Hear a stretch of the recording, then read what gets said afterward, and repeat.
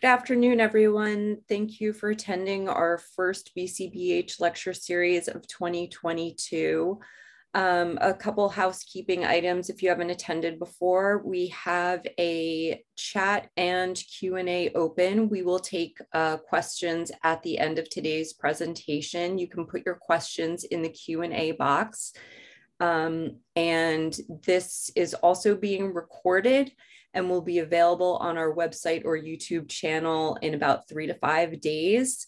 Um, and slides will also be available on our website. Uh, CME uh, credits are available as well, and you can find that information on our website, and I will post that information in the chat.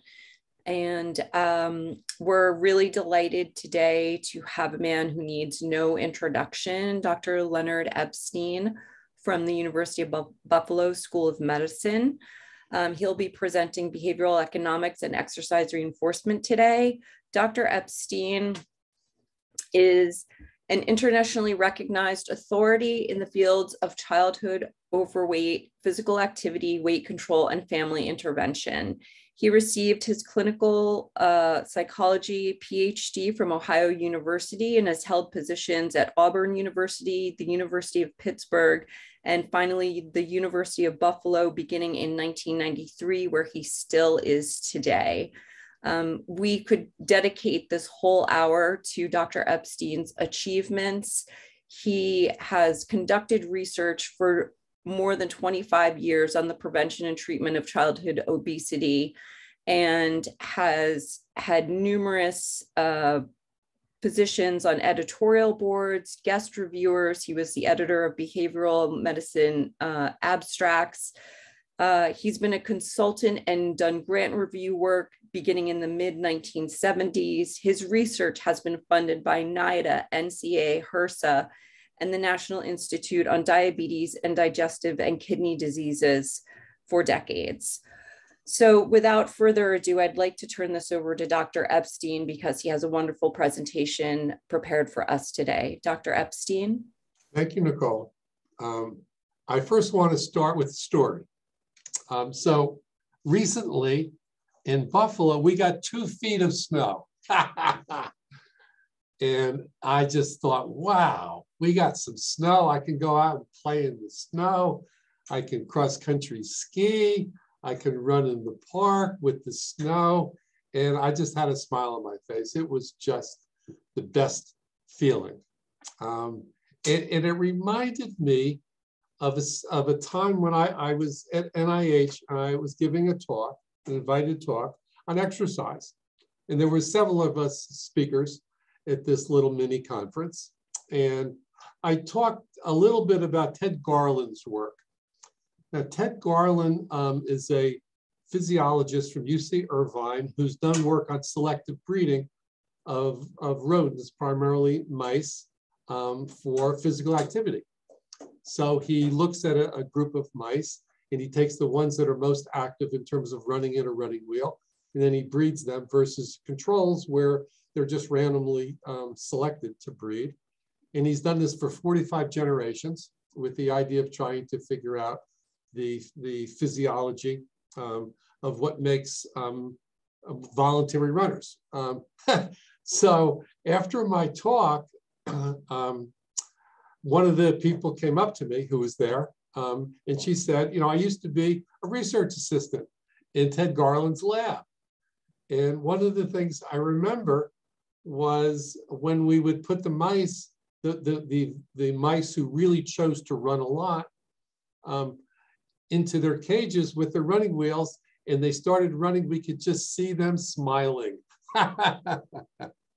so I thought that fit me perfectly. Exercise is something that I love to do, and I'm going to talk about that um, today. And usually when we think about reinforcers, and reinforcement processes, we often think about bad things, drugs, alcohol. Um, here I'm going to talk about how we can think about making positive things more reinforcing. And I'm going to be using behavioral choice theory as, a, as an underlying um, theoretical construct. And, and by the way, when I present my slides, I tend not to read the slides. I think you could read them. Um, and I always dislike talks where people just read the slides that they present to you. Um, so first, I'm going to really uh, present a couple of studies on choice, how important choice is. Behavioral choice theory, obviously, is about choice. Um, and two studies I'm going to present are both from Wolffgramm, and they're both um, animal studies. The first study looks at alcohol and choice, and the, and the, um, the rats were randomized to um, a situation where they, they had two water bottles in their cages. And some of the times there was water. For the controls, there was always water. For the intermittent choice, there was sometimes water, sometimes alcohol. For continuous free choice, there was always water or alcohol. And then for the forced intake, there was always only alcohol. They did this for 32 weeks. So if the animals who only had alcohol in their cages were going to remain in fluid balance, they were going to be drinking a lot of a lot of alcohol. Then they clean them up, and of course, it's easier to do that with rats than it is with humans. Um, and they made sure that they were um, going through withdrawal. And then they give them access to alcohol. So this was the self-administration test. Now, if becoming, um, if developing reinforcement to alcohol is solely based on how much you do of it, then the animals in the forced intake would find alcohol more reinforcing. However, if choice is important, um, then the animals who had choice would find it to be more reinforcing. And here's what you find. Here are the controls, and the controls are the animals who only had access to water for the 32 weeks. And this is their first experience with alcohol. And maybe some of you can remember your first experience with alcohol. You know, your parents went away, but you knew where the liquor was in the liquor cabinet, and a couple of friends came over. um, or you, you were in high school and you went behind the, the school and you got a six pack. And usually it's not all that pleasant. Um, and it wasn't for these animals. They really didn't take very much alcohol. But they didn't, the, the forced animals didn't take any more than the controls. Forcing the animals for 32 weeks to take alcohol didn't make it reinforcing. What made it reinforcing is if they did it by their choice. Intermittent free choice made it more reinforcing, and continuous um, free choice made it all even more reinforcing. Let's look at another example of that same thing. This is with opiates. Same idea, controlled choice or forced intake of an opiate. Did it for 30 weeks, cleaned them up for 19 weeks, and they said, who wants opiates? Here's what they found, the same thing. The control animals didn't want it. The forced animals who were forced to take a drug for 30 weeks did not want it if they had a choice. The only animals who wanted it was free choice. And this is really interesting set of studies, but it also points out that oftentimes when we try to force people to do things, um, they, they won't want to do it when you, when you take the force away. They won't find it reinforcing. You probably can't make somebody motivated to do something by forcing them to do it. Um, and, and I think many physicians know that when they prescribe and they tell people you have to do this, you have to do that. Um, uh, there's a about a 50% non non-adherence rate to, to most drugs. Okay. Um, the other part of choice that's important is what are the alternatives? Usually when we think about um, reinforcement, we think about the things that somebody wants to do, not what else is available. I'm going to present two studies that talk about the importance of alternatives. This is a study from Elsmore, 1980. Um, and these baboons had access to heroin or food. And these, they've already become dependent on heroin. Um, and many of you think that after someone is dependent on a drug, that they will do anything to get access to the drug. And you often hear that, that these drugs take over people's lives. Um, so in this study, they varied the um, time intervals between access to either the choice of food or heroin. So they could either get it every two minutes, every four minutes, every eight minutes, every 12 minutes. This is sort of an income experiment. So when it was two minutes, the animals didn't have much of a difference. Um, they chose um, food or heroin just about equally. But as the choice became more dear, um, as the animals had less money to spend, so to speak, um, they tended to really decrease their um, choice of heroin, but their choice of food hardly changed. So when food was an alternative, uh, they chose it.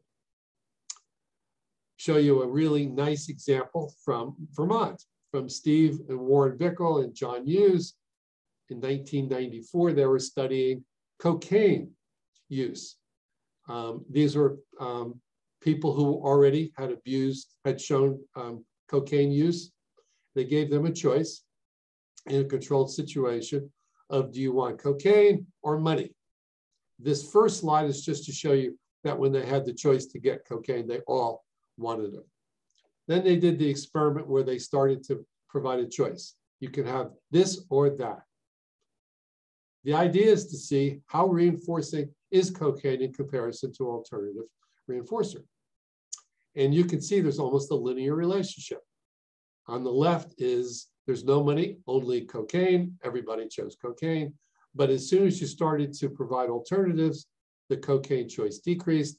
And when you provided the maximal amount of alternative, there was no more cocaine choice, really clearly showing that even for powerful drugs of abuse, alternatives can alter choice. This is a slide from the American Heart Association. I'm talking about one alternative to exercise. That's being sedentary. This is early in the day, so most of you are not thinking about sitting back in your recliner. But if this was 4 or 4.30, many of you would be thinking about that. Well, nice beer and a recliner, that sounds really pretty good. So um, this, the, the next part of the talk is really on these ideas of choice. You can either be active or you can be sedentary. We think about elasticity, um, how much consumption changes as price increases, and we also think about complements and substitutes, primarily in this case, of course, substitutes. Uh, this is Dagwood. Dagwood was in one of our very early exercise programs, and he had to um, make us make a um, pledge to be more active and tell his family about what his activity was going to be. So he's really optimistic now. I think I'm going to take a walk. But there's his couch, which he spent many hours of pleasant time on. And he even's talking to it. You're not getting me tonight, couch. I'm going to go out for my walk. Oh no, Dagwood. it got me. I, I bet you many of us have felt that way where you wanted to do something, but you had a habit of doing something else and the other thing got you. Many people have said they're not going to eat junk food, they're not going to eat high energy dense food. They walk past the bakery, take a little bit of a sniff, and boy, that smells good. I think I'll just try a donut. I'll start my diet tomorrow. We've developed a way to measure exercise reinforcement in the lab, same way we measure food reinforcement, the same way basic scientists measure um, drug reinforcement. We use progressive ratio schedules of reinforcement. People cannot um, exercise prior to the assessment. Um, people, the schedules change as people start to meet the response criteria. We compare this to reinforcing value of alternatives, usually other sedentary behaviors. And there's a lot of similar constructs um, that people have talked about, reward, incentive salience, hedonics, wanting. We're really talking about how hard will, will someone work to get access to an exercise, whether it be an exercise bike, access to an exercise facility. Um, I'm going to show you a really cute little um, video of food reinforcement and how powerful food reinforcement can be. I'm hoping I can. I can't. Okay. That's okay. We know that exercise activates the mesolimbic um, reward pathways. Both animals and humans will work to get access to exercise. And there's genetic research starting to get a handle on what's the genetics of voluntary um, motivated physical activity in the, the Taq1A allele of the DRD2, the dopamine D2 receptor, um, is important. And that's something that we've studied for food reinforcement, and we have colleagues who have studied it for exercise reinforcement. Very first study we ever did on exercise reinforcement was with kids. Uh, we know that kids who are overweight are less likely to be active. We wanted to see if that was due to differences in the reinforcing value of, of activity. We had three groups of kids, non-obese, moderately obese, and very obese.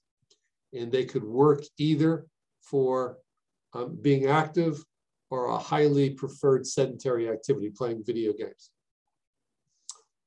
On the bottom, you can see the different schedules of reinforcement as they got harder. Um, and um, we're looking at how much time they spent being active, working for activity. You can see um, when the schedules were the same, when they both required two um, lever presses, um, in this case, mouse presses, um, to get access to the activity or the sedentary, they all chose to be sedentary. When you started to put constraints on that, when it started to become a little bit heavier, not unbelievably heavier, but a little bit heavier, um, to, harder to get activity, you can see the non-obese automatically switched over and became active. When it become a little bit harder, then the non, the moderately obese switched over. The very obese, it didn't matter how hard it was to work to be sedentary versus active. They still chose to be sedentary. So they work 16 times harder to be sedentary than to be active, and they still chose that.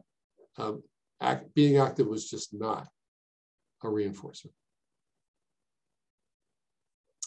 So if you're dealing with a situation where you have a very, very powerful reinforcer and people will not make the other choice, maybe one approach to that is reducing access to that reinforcer.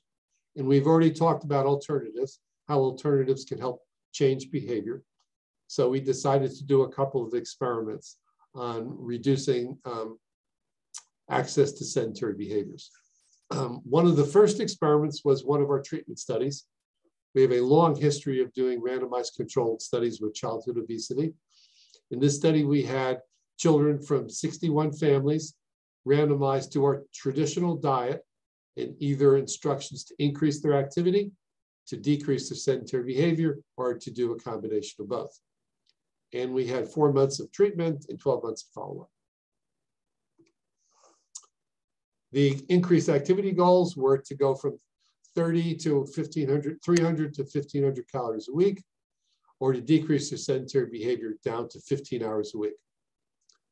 And 15 hours a week is about, at that time, what the um, the American Academy of um, Physicians was um, saying was appropriate for physical, physical uh, sedentary behaviors in kids. Since then, it's been reduced a little bit. Here's what we found, both in terms of overweight change and fat change.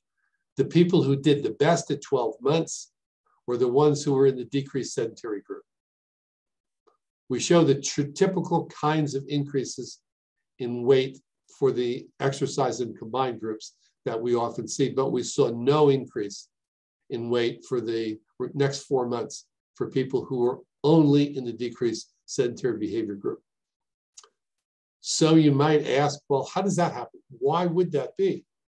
And if you remember the very first experiments I presented to you on choice, is the way you establish something as a reinforcer is by giving people a choice of doing it. You can nudge them in one way or the other, but choice is critical. In this case, um, when you decrease sedentary behavior, kids have a choice of what to do with their free time.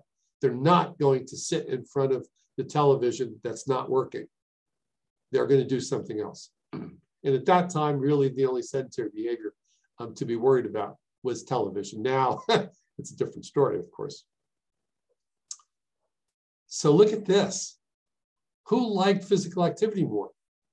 The kids in the exercise group liked it a little bit more. The kids in combined group liked it a little bit more, but the kids who really liked it were the ones who were who were um, told not to be sedentary. because all the activity they got, all of it, was their choice. In the other two groups, the activity was because we were telling them to do it, not necessarily because there was their choice. And this fits the Wolffgramm idea just perfectly. So another study we did with um, four to seven year olds trying to prevent the development of obesity was to reduce television watching. Television watching um, is important perhaps for two reasons. One, um, you can eat in front of the television. And secondly, um, television may interfere with being physically active.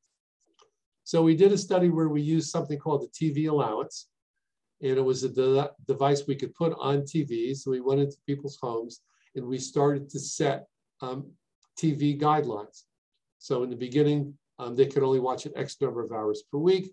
And you can see we got it down from about 25 hours to less than 10 hours. And we were able to do that for an entire year. And this nice thing was this was a device that did this. This had big effects on body weight. Now, the, the interesting thing about this experiment, it was not, the parents were not told this was a weight experiment. We never mentioned weight. We never mentioned eating. We never mentioned physical activity. The only thing we said was which parents want to help their kids watch less TV. This was a stealth experiment. We got big decreases in body weight, but we never talked about eating. we never talked about weight. We only talked about the benefits of watching less television. When we looked deeper into this data, though, we found out that this effect was due not to increased activity in kids, but rather decreased intake in kids. And in a, a subsequent set of experiments, we were able to show that by doing this, we're able to decrease energy intake by 350 calories or more per day, which would be um, over half a pound a week of weight change. So this effect was due primarily to changes in eating, not activity. And there's a lot of research now showing that reducing access to sedentary behaviors has its major effect on eating, not on increasing physical activity. So if that's the case, then what you want to try to do is make exercise more reinforcing. You want to sensitize exercise exactly the same way that we think about sensitizing drug reinforcement. We want to make something more reinforcing. We know that, extra, that reinforcement is a dynamic process. It can change over time. If you can increase the value of it over time, then we think about sensitization. There's a lot of drugs of abuse that sensitize. Um, palatable, high energy, dense foods sensitize. The initiation of sensitization involves the VTA. Expression of sensitization involves the nucleus accumbens. In general, in drugs and in food, sensitization is related to large doses of a drug and intermittent subsequent presentations of the drug. And this will be important as we get into the exercise on literature. So one question to ask, if we do an exercise task in the lab and we get different amounts of exercise reinforcement, so people work differently. Some people work really hard to get access to exercise. Some people don't. Is that related to their amount of physical activity? And we'd shown that for kids in two different studies. And Kyle Flack, a colleague of one of my um, one of my colleagues, I'm Jim Roemmich, um, studied this in um, adults. They studied 88 people. They measured reinforcing value of both physical activity and of aerobic exercise and of resistance exercise. And this just looks at the relationship between reinforcing value and aerobic exercise, and it was significant. And this looks at the um, relationship between um, um, exercise reinforcement of uh, in resistance training, and that was significant. So this suggests that exercise is not a uniform construct, which of course we really know that, that there's different kinds of exercise. Some people will find one reinforcing, some people will find a different type reinforcing. So then I'm going to present a series of studies to see if we can make exercise more reinforcing. How would you do that? So they took sedentary, this particular study took a, 104 sedentary men and women. They ended up um, randomizing them to different groups. 89 people completed. They had five, 50 to or 300 calorie uh, burning sessions three times a week or control. Did this for six weeks and four weeks of follow-up. So um, 50 calories is not very many calories to burn. Um, 300 is more. Um, 300 would be the equivalent of three miles of running for a 150 pound person. And they did it three times a week. They trained at self-selected intensity. Um, and they, they were able to establish that by a, um, a, a, a SenseWear monitor. So here's what they found. Um, the top graph is reinforcing value of exercise. This is reinforcing value of sedentary behavior. And this is the relative reinforcing value that the reinforcing value of exercise decreased. it didn't increase, it actually decreased. The reinforcing value of sedentary behavior decreased in people who were in the exercise programs. It didn't change for the controls. Um, so this really wasn't a success. This small amount of exercise a couple of times a week didn't make exercise any more reinforcing. So the second experiment. This time they had them exercise two or six days a week or control. Did it for 12 weeks. Now they had bigger workloads, a thousand calories per session for two days, or six days of 400 calories. Um, so once again, the if you figure running, this is about four miles for a 150 pound person. For a 300 pound person, it's uh, going to be obviously two miles, uh, but they did six days a week. These guys were exercising um, only two days a week, but they burned a lot of calories in each of those sessions. This is equivalent to 10 miles of running in a session for a sedentary person. Um, so it's a lot of exercise. One of the challenges in this study, and they didn't realize this until they um, looked back at their data, was the, they all reported being sedentary, but when they actually measured their activity using accelerometers, so MVPA stands for moderate to vigorous physical activity.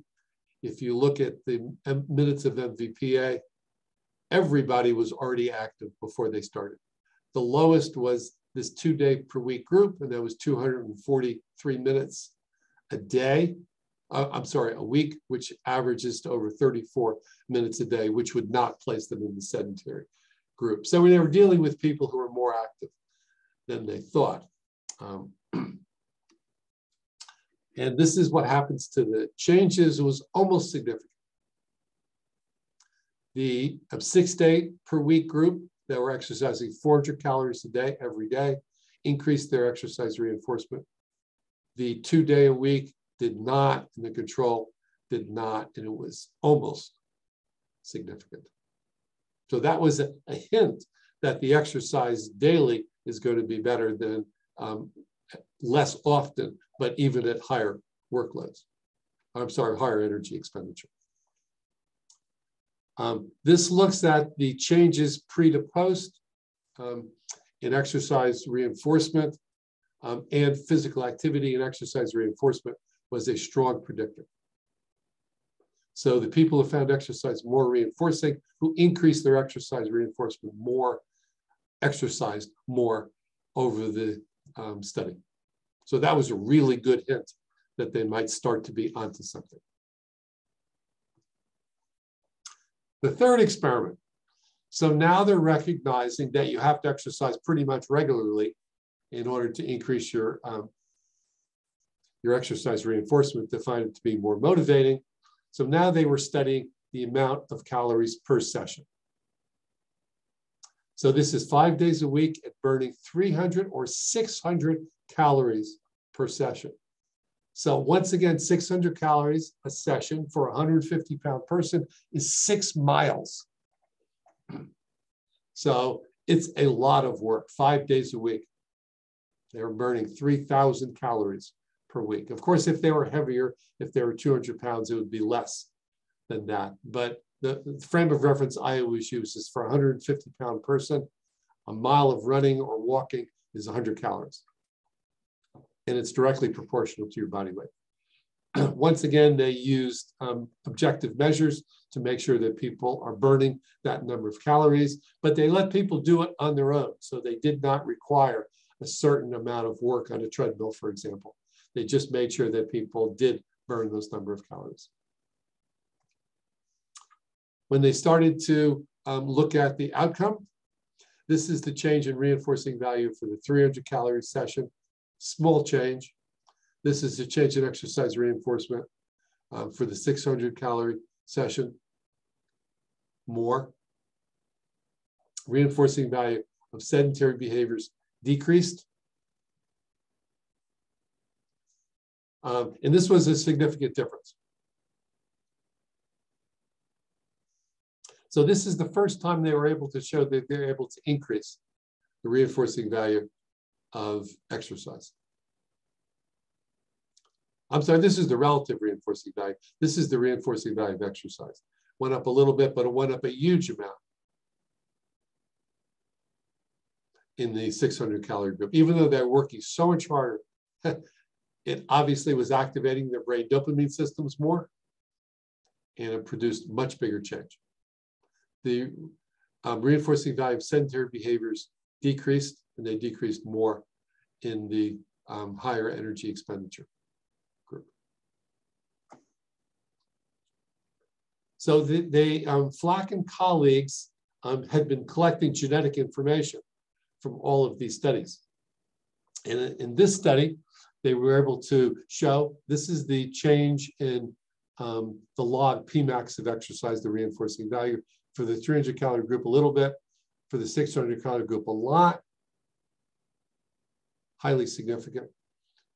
And this was due in part to SNPs related to the DRD2 receptor, just as um, happens with food reinforcement. The fewer D2 receptors, this Taq1A allele codes for the number of receptors, the fewer receptors, the less reinforcing. The more receptors, the more reinforcing. And so if you have um, fewer receptors, you have to engage in more of the activity to get the same amount of activity, of, of, of reinforcement. So then we started to do a series of studies on interval training versus traditional aerobic exercise. so interval training is very popular now, high intensity interval training. It's popular for a couple of reasons. Um, one reason is it takes a lot less time. Um, another reason is the intensity is different. It's much more intense. And it's short intervals of really intense exercise. There's now a lot more research on interval training um, than there was um, when we first started doing this. Um, and it's turned out to be very, very positive. Our first study was in 2009. In this study, um, we took 32 kids. We gave them an exercise test, and we then were able to establish um, their work to get their heart rates up to certain um, levels. And we did this um, at two different tasks, above and below the ventilatory threshold. And we did that because there had been a lot of research at that time showing that the affective response to exercise differs above and below the ventilatory threshold. So we wanted to see if the reinforcing value also differed. So um, above the ventilatory threshold, um, they either had a continuous um, activity or they exercise for intervals 20 seconds above and then um, 20 seconds below continuously repeating that um, for the below, they were exercising for 20 seconds, so heart rate at 140. Um, and they did the same pattern. So it was much, it was less, um, was much less um, intense. And then after they experienced these two different protocols, we then, they got a free choice session, either above or below the ventilatory threshold. Results turned out beautifully. Um, you're looking here at this is above or below the VT, and this is either how reinforcing they worked for interval or continuous exercise. In fact, the differences between um, the reinforcing value were more pronounced above under hard working conditions than they were below. But in both cases, reinforcing value was greater for the interval training than for the continuous exercise. Pretty cool. Once again, we're pointing at the intensity being an important part of this. So then we did a much more carefully controlled um, set of studies. Just published this, um, looking at this in adults. The first experiment, we wanted to see how reliable this effect was because these are all single um, th these experiments were all single session experiments. So we wanted to make sure that if you did it again and again, you'd get the same kinds of effects. So in the first experiment, people did the, the sessions twice, and they're basically randomized to a one-to-one -one or one-to-two minutes of interval training to um, moderate intensity aerobic exercise. And the purpose of that was to see if they just preferred interval training because it took less time than the aerobic training. And generally it takes a half to a third the time to do an interval training session as it would do to burn the same number of calories or to get a fitness effect for aerobic training. So they sampled both um, protocols. They did a five minute warm up. They sampled the protocols in counterbalanced order and this was after a fitness test to establish the workloads. In the HIT protocol was 30 seconds at 80 to 90% of heart rate reserve. Heart rate reserve is just your resting heart rate minus your max heart rate. Um, so that's a high workload. if you've tried interval training or if you've kept your heart rates, uh, working 80 to 90% of heart rate reserve is high. Then they got 30 seconds of easy, um, 30 to 40% is, is really easy. And they repeated that time and again. The moderate intensity aerobic exercise protocol had them working at 50% of their heart rate reserve, which would be, um, you know, not a walk, but an easy kind of a jog. okay. So we then looked at the reinforcing value in both sessions and liking of the two kinds of exercise. And as you can see, the reinforcing value of HIT was higher than aerobic exercise the first time we did it. It even grew, maybe an example of sensitization, the second time. The correlation between the um, reinforcing value for interval training was between the two times was 0.96 it's 0.72 for the aerobic exercise, and they liked it better. Pretty cool, we thought. Okay, so the, the next experiment was to replicate that um, with collecting more measures, um, not only measuring reinforcing value, but also measuring um, enjoyment, measuring the um, perceived exertion, measuring the, their um, preference for um, high intensity um, work. Same kind of thing, same workloads. Here's what we found. Um, this is the reinforcing value. much higher. There's liking, higher. Here's the affect, higher.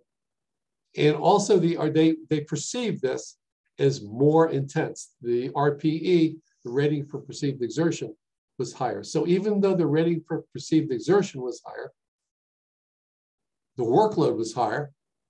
They, they found it more reinforcing and they had a better affective change.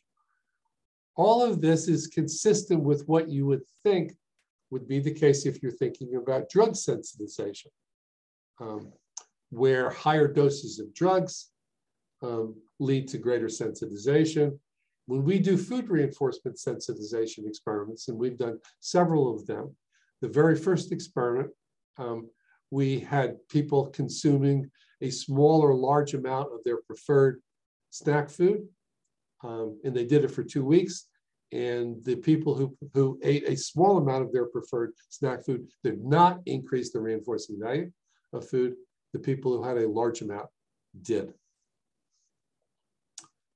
Okay, so let me summarize um, that we think that exercise can be thought of as a reinforcing stimulus. People will work for access to it. We've shown that in our lab. Um, in multiple experiments and people all over the world now have shown the same thing in humans and animals.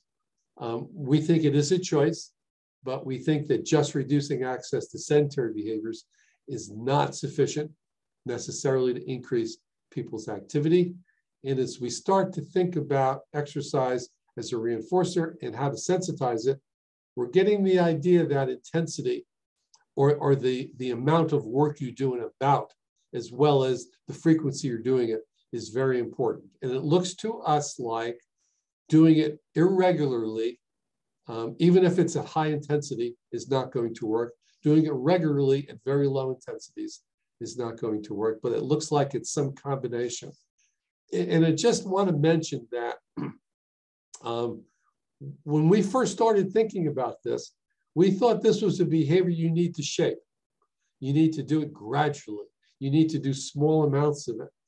And the more we think about exercise as a reinforcer, the more we think that that might not be the right approach.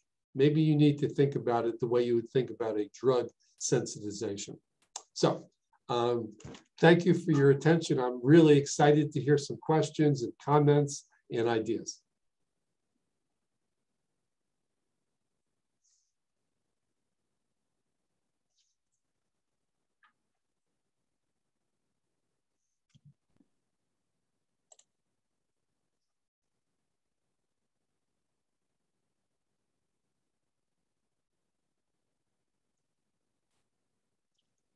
Anybody have any comments or questions?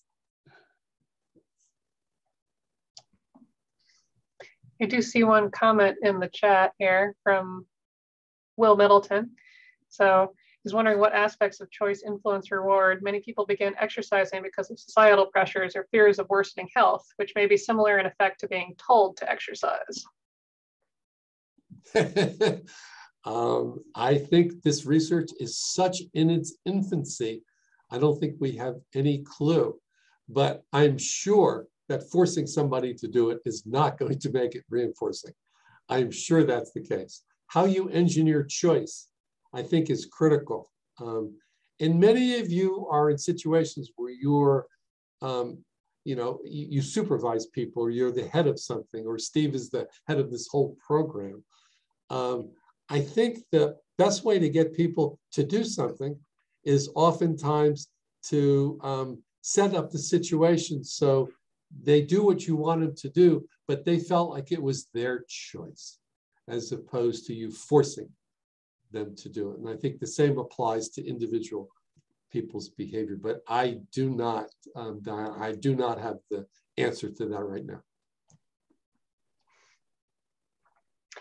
All right, and so we have another comment here from Rhiannon Wiley, and she says, have you considered the secondary reinforcers that may come with exercise? For example, doing exercise in groups with friends that they enjoy spending time with.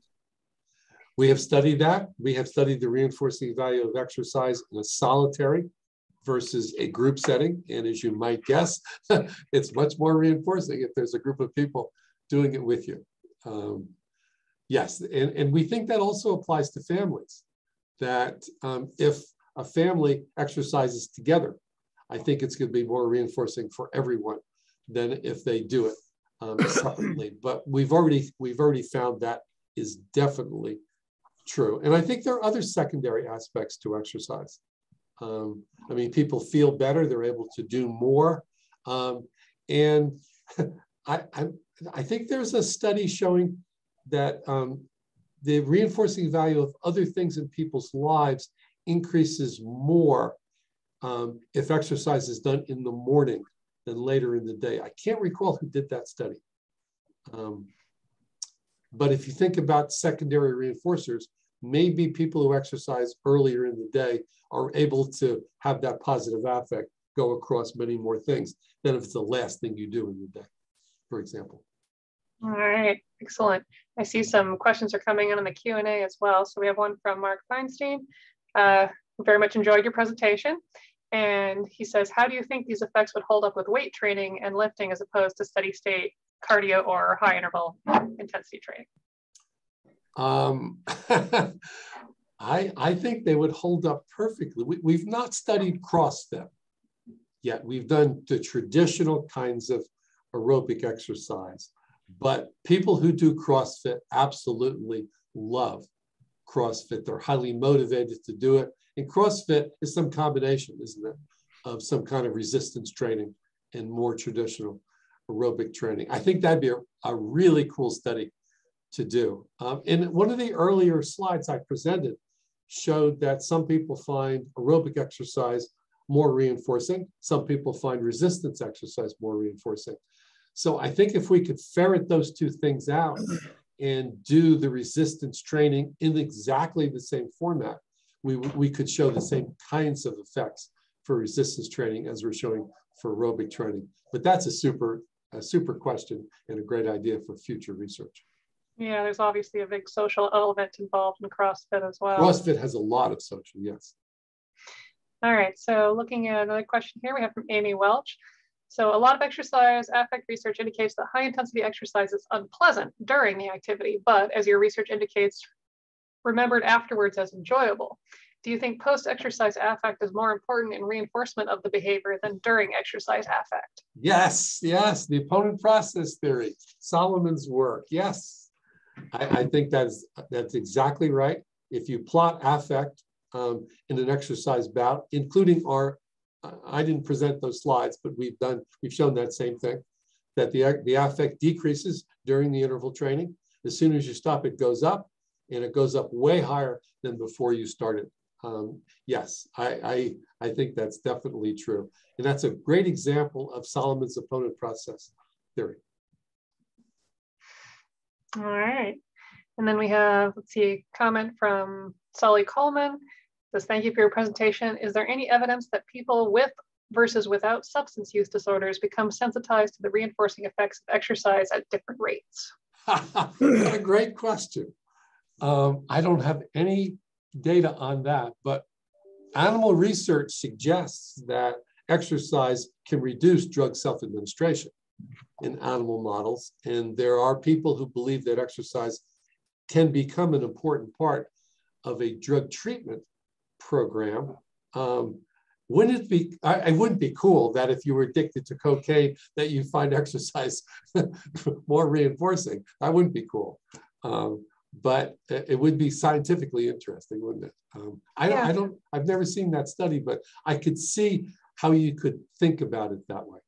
I mean, there are definitely treatment approaches of exercise for substance use. Yes. That, that definitely is a thing that's been tested.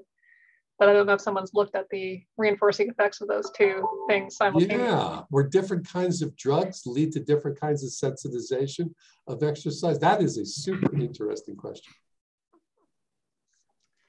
All right, so let's see, moving on here, we have um, a question. For any data regarding BMI ranges for, for these people, so higher BM versus normal BMI? Um, all of these studies, there's a wide range. They weren't only lean or they weren't only obese. Um, in, in other studies that I did not show you, including the very first exercise study I showed you, that in general, lean people find exercise more reinforcing. but in these sensitization studies, they were not selected for, um, for the exercise increase reinforcement studies. They were not selected for body weight. My guess is, is that leaner people will show this more, but I, I haven't, we don't have data on that yet. It's at least not restricted to the leaner people. No, it's not.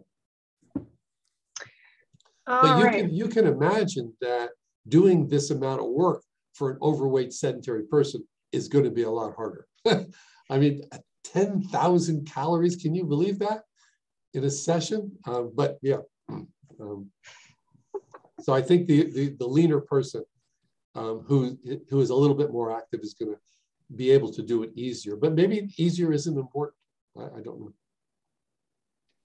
All right. So we have one uh, just general comment. So we have an anonymous person stating that their husband used worked for UPS and had to walk and carry packages. In the beginning, it was almost impossible, and now six months he has to continue doing physical activity on the weekends to actually feel good. so just a just an example there of the uh, you know developing the reinforcing effects of exercise. Isn't that interesting? Yes. All right. Um, so I have another question from Eli Klemperer. Uh, he says, thanks for great talk. Smoking research has found that factors associated with initi initiating an attempt to change, i.e. quit, differ from factors associated with maintaining change, i.e. long-term abstinence. Do you have any sense as to whether this translates to exercise? Do factors that promote initiating differ from factors that promote continuing? I was just thinking about this yesterday. No, I have no, all of this research is really in its infancy. There's no follow-up studies done to see what these people who increased their exercise reinforcement and became more active did six months later, a year later. Um, but the, I, I, my guess is um, is that after they find it reinforcing, they'll start to rearrange their life to make sure they keep getting it. But I don't have that data. All right. Let's see. Okay, so we also have a comment here from Larry Rediger. Any thoughts about how this may be related to mandates for wearing masks? I assume there's a comment about forced behavior versus choice behavior. Um, no, I'm not going to get into that at all. um. uh, let's see. All right, and we also have one general question from Leva Khan. What got you interested in this research? So, how did what started you around the topic of exercise and reinforcement of exercise? Well, um, I, I, guess in part because I love to exercise myself. So it was interesting for me to study something that I like to do. Um, but in our work with overweight kids, we found out very quickly that these children um, do not engage in very much voluntary activity. The activity they engage in is forced so we really wanted to understand um, how to get kids to be more active as part of our obesity treatment programs. Um, since then, of course, it's led to an interest just in exercise, independent of how exercise is important for obesity research. But I, I think it's cool when you can study a topic that's important to you personally. Len, I have I have a question for yes. you, and I hope you can hear me. And uh, yes, first, let me apologize for being late. And the the part of the the presentation I heard was terrific. So thanks for for sharing the information with us. I find myself like you. I love exercise and I love interval training, although I don't do as much of it these days as as I did one time at one time. But I'm wondering, what are your thoughts on the opportunity to gain mastery? So, you know, an interval session that you complete gives you this sense of, wow, I was on the edge and I did it.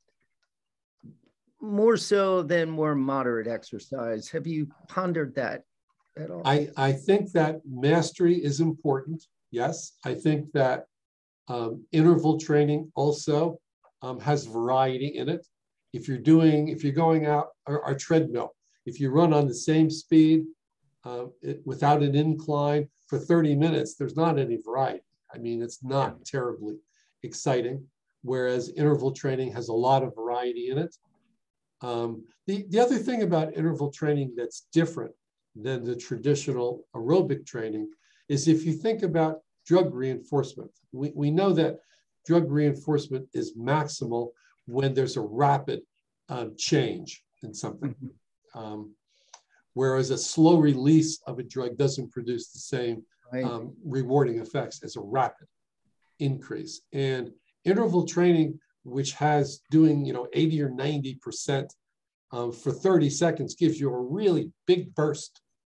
And then you go back and you get another big burst. So I think those continual deltas um, are important in, in why interval, tra- interval training is reinforcing. Um, Mhm. But I also think that um, the, the, the increased variety, um, and I think mastery is important in all kinds of, of activity. And I, I think that's why triathletes can maintain so much exercise because they're doing three different things and learning three different things and trying to master 3 Mhm. different things. And they're never going to get bored. Mhm, mhm. Fascinating.